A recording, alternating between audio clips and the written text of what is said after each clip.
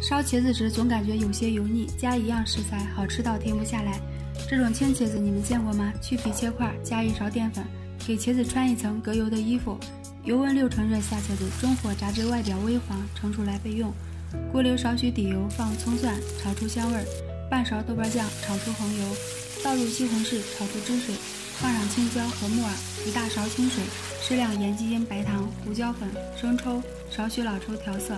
淋入少许水淀粉，使汤汁煮至粘稠，倒入炸好的茄子，快速炒匀即可。茄子这么做两块钱一大盘，香而不腻，简单又下饭。